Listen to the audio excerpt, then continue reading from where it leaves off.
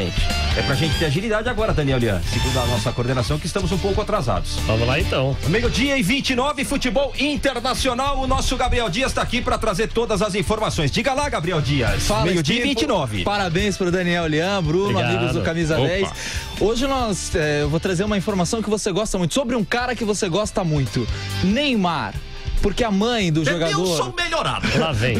Porque a mãe do jogador Rabiot deu uma declaração ao Rabiola. jornal L'Equipe da França e disse que o PSG trata de forma desigual jogadores dentro do elenco. De novo porque... essa denúncia, hein? Isso já aconteceu uma vez. né? Exatamente. Hein? o Johnny vai colocar na tela aí a capa do L'Equipe de hoje e a mãe do jogador, que também é sua agente, que cuida da carreira do Rabiot, disse que há jogadores que faltam por um cochilo de seis minutos. Porque o que acontece? O Rabiot chegou atrasado em um treino do PSG, foi afastado pela direção do clube e está treinando fora do elenco principal. E a mãe ainda disse que há outros jogadores que, quando estão machucados, podem ir para festas do outro lado do mundo. No Carnaval do Rio, ela se refere à situação do Neymar, que foi muito criticada também pela imprensa francesa. E só para finalizar o noticiário internacional, no, a eliminação do PSG pelo Manchester United também causou uma brincadeira entre o Pogba e o Mbappé e dá uma olhadinha como os dois jogadores conversaram depois desse reencontro.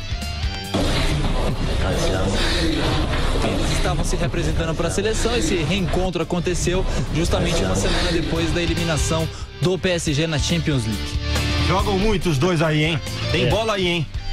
Fechou, Gabriel? Fechou. Um abraço. Valeu. o sarro do Mbappé. O que, que foi, Ilian? Pogba tirando o sarro do Mbappé, né? Tem bola aí, tem futebol aí. Tem hein? futebol aí. Tem Tem, futebol milhões também ali. Apesar né? do Pogba não ter participado da volta, porque foi expulso na ida, É, né? Mas aí. o time dele né? passou, né? É, mesmo assim.